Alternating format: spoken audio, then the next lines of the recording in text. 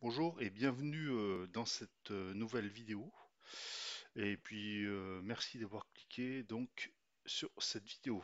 Donc déjà comme d'hab pour commencer, cette vidéo a été réalisée avec un Windows 10 Pro et une session administrateur. Donc dans cette vidéo on va voir les, différents facteurs d'authentification. De nos jours, souvent on utilise un login password pour s'authentifier. Et donc euh, vient alors le multifacteur qui va sécuriser le tout et vous permettre de renforcer la sécurité en utilisant au moins un autre facteur pour confirmer votre identité et donc euh, pour vous permettre en quelque sorte de vous authentifier. Donc euh, maintenant, on va parler des, principaux facteurs euh, qui vont vous permettre de vous authentifier. Donc je les ai mis sur cette page. Donc là, il y a le facteur, euh, il y a un des facteurs qui est quelque chose que vous connaissez, un autre facteur qui est quelque chose que vous possédez, un autre facteur qui est quelque chose que vous êtes, euh, un autre facteur qui est quelque chose que vous faites, et un autre facteur qui est quelque part où vous êtes. Et pour conclure, on parlera des, on fera une mini conclusion et on parlera des l'authentification multiple avec les comptes locaux et avec les comptes de domaine. Voilà, sans plus attendre, on va passer, on va parler du premier facteur euh, d'authentification qui est quelque chose que vous connaissez. A tout de suite.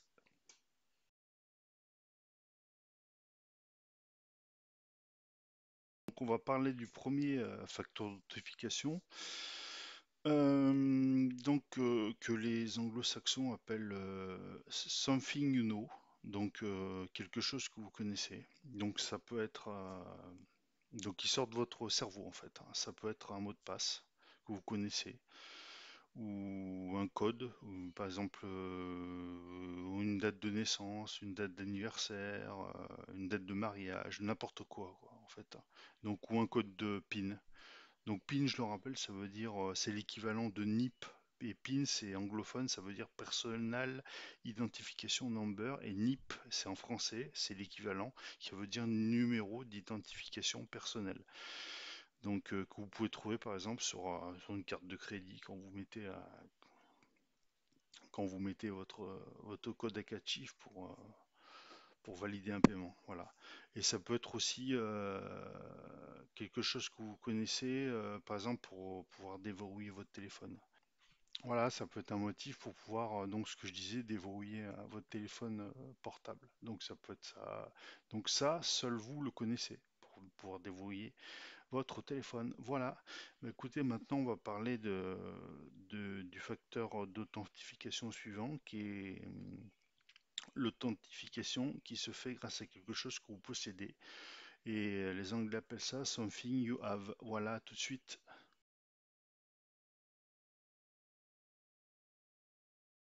On va parler de l'authentification qui se fait avec le facteur E, euh, de quelque chose que vous possédez.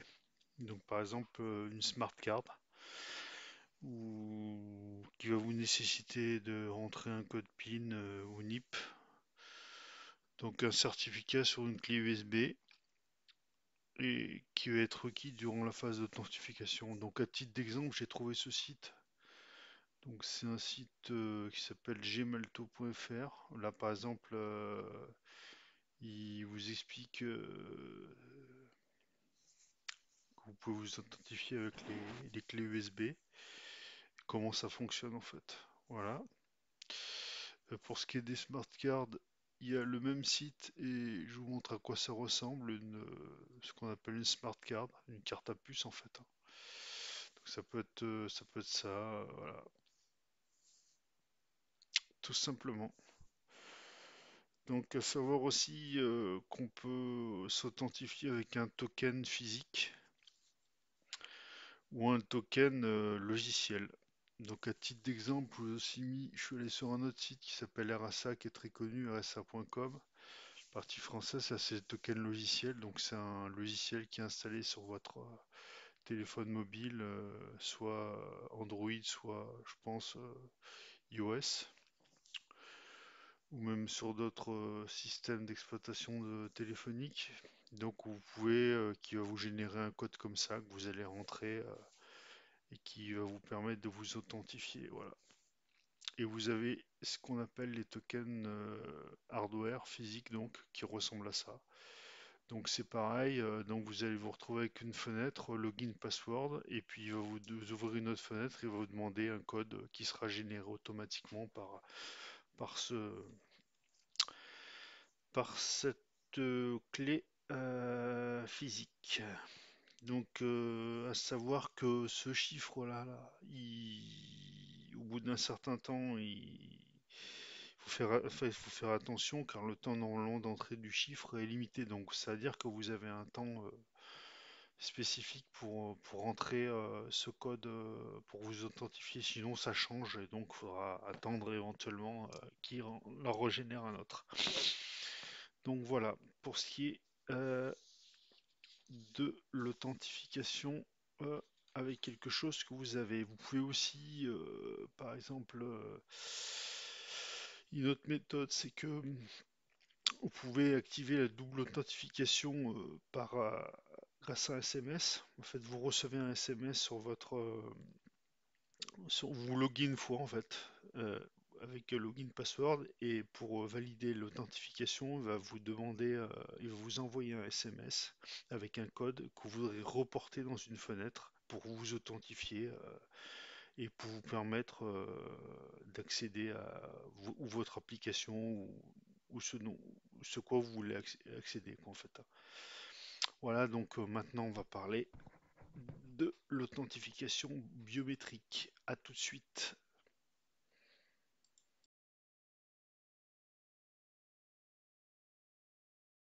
Voilà, alors euh, pour ce qui est de, la partie biométrique pour l'authentification, donc ça se fera avec euh, quelque chose euh, euh, que vous possédez qui vous est propre en fait, quelque chose de votre corps. En fait, ça peut être une empreinte de doigt, ça peut être la reconnaissance, elle peut se faire, l'authentification peut se faire par la reconnaissance de mon iris, la reconnaissance de votre voix, la reconnaissance faciale, la reconnaissance par exemple de votre main. En fait, c'est ce que j'ai dit tout à l'heure, tout ce qui vient de, de votre corps humain est potentiellement biométrique un des, désavantages de la biométrique, euh, de la biométrie, c'est que c'est des, ça change pas comme si vous voulez changer de d'empreinte en fait ça change pas comme euh, comme on pourrait changer un, un login mot de passe aussi facilement. C'est un peu plus compliqué que ça donc l'authentification euh, biométrique, elle fournit une, sécurité très haute car personne d'autre en fait a votre iris ou votre timbre de voix ou votre empreinte de doigt, etc. Bon, euh, de toute façon, les lecteurs, euh, lecteurs biométriques, ils sont pas, ils sont pas infaillibles à 100%. Donc l'authentification biométrique, c'est plutôt un facteur à combiner avec d'autres types d'authentification. Voilà, en plus, euh, donc, euh, de nos jours, euh, les imprimantes 3D sont de plus en plus puissantes et en fait peuvent tout copier. Avec, on peut trouver des, faux masques, des fausses empreintes de doigts, etc. Donc c'est pas très très rassurant. Donc je vous ai mis, je vous ai trouvé trois articles qui peuvent peut-être vous intéresser. Donc regardez, ça c'est un article qui date de de 2016, mais peut-être qu'il est encore d'actualité, ça peut peut-être encore se faire. Je sais pas. Donc euh, là, il y a notre article qui, qui vous explique euh, que l'authentification par empreinte digitale euh, sur un Galaxy S10 a été détournée. Donc voilà, par, par une imprimante 3D, donc c'est ce que je disais, c'est de plus en plus puissant, donc ça, ça, on va dire, ça gêne un peu la, la, biométrie. Voilà, et donc, et, le troisième article, c'est quasiment, euh, je crois que c'est en vidéo, hein, si vous pouvez regarder, je crois que c'est quasiment, c'est marqué une société vietnamienne aurait déverrouillé un iPhone 10 en piratant Face ID, le système de sécurité par reconnaissance faciale d'Apple, rapporte les échos. Donc ça date de 2017. Je sais pas ce qu'il en est là maintenant. J'ai pas trop fait de, j'ai pas trop regardé. Voilà. Bah, maintenant vous savez, euh, vous savez ce, ce qu'est l'authentification biométrique. Voilà, donc on va passer à un autre facteur d'authentification, c'est l'authentification qui se fait grâce à quelque chose que vous faites. Donc something you do, voilà tout de suite.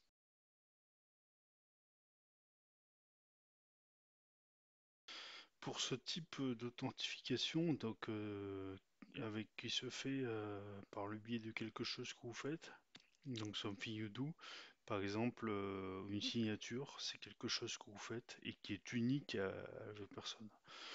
Un autre exemple aussi euh, que vous pouvez trouver, c'est, je crois, votre, votre style de taper et de frappe sur le clavier. C'est quelque chose euh, d'unique à vous.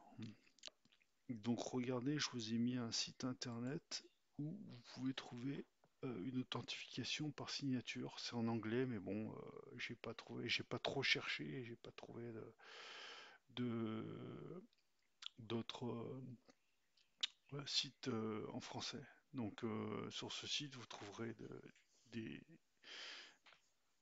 vous pourrez apprendre à mettre en place la double authentification grâce à la signature. Voilà, maintenant on va passer au dernier facteur d'authentification qui est le facteur d'authentification qui se fait grâce à l'endroit où vous êtes, que les anglophones appellent somewhere you are. Voilà, tout de suite.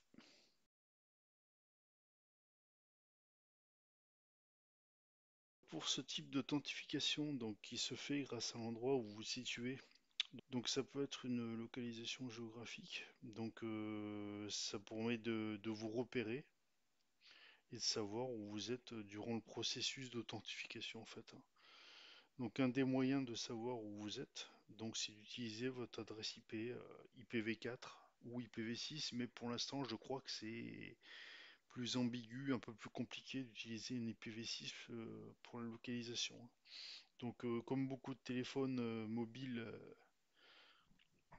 ont un GPS, donc ce GPS peut vous donner beaucoup d'un beaucoup de détails euh, sur le lieu où vous vous trouvez. Voilà. Donc j'ai trouvé un article concernant la géolocalisation liée avec la double authentification. Je vous le montre, il est ici. Ça vient chez Microsoft et c'est euh, l'utilisation de Microsoft Azure. Donc il vous parle des emplacements, il vous parle euh, des voilà de l'authentification multiple, je crois, par là quelque part par là, ouais, IP approuvé MFA, multifacteur authentification, voilà. Des emplacements, conditions d'emplacement, enfin voilà. Donc article à lire, et si vous utilisez euh, euh, euh, Microsoft Azure, ça peut peut-être vous intéresser. Donc voilà, maintenant on va passer à la conclusion. À tout de suite.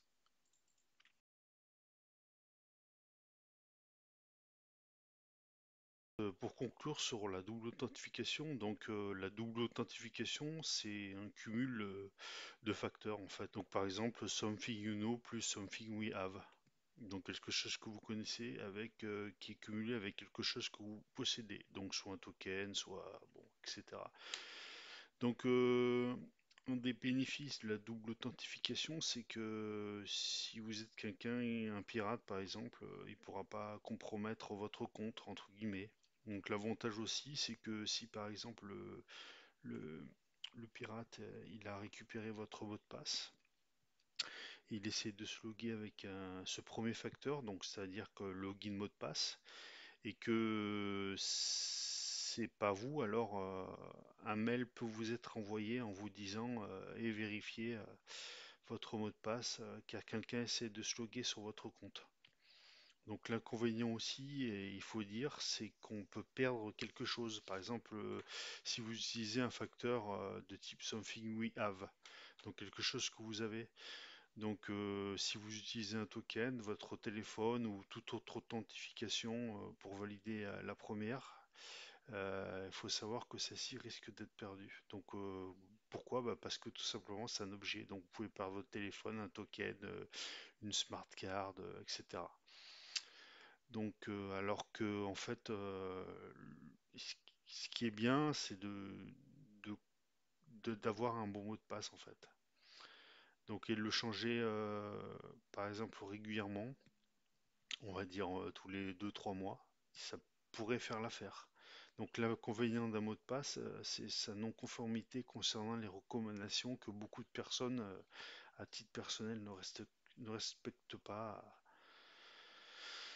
Donc voilà, donc les consignes sont applicables euh, que ce soit pour les particuliers, pour les entreprises. À ce sujet, bon la CNIL, là je vous ai, mis un, lien vers le site de la CNIL qui explique euh, comment bien choisir son mot de passe et qui explique euh, des risques qu'il pourrait y avoir si vous... Voilà, plein de choses intéressantes.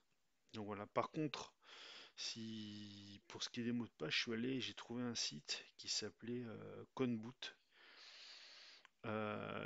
qui vous propose un logiciel pour, on va dire, vous loguer si vous avez perdu votre mot de passe. Donc, logiciel, donc c'est ce que je disais, s'appelle Conboot et il est ici si vous le voulez.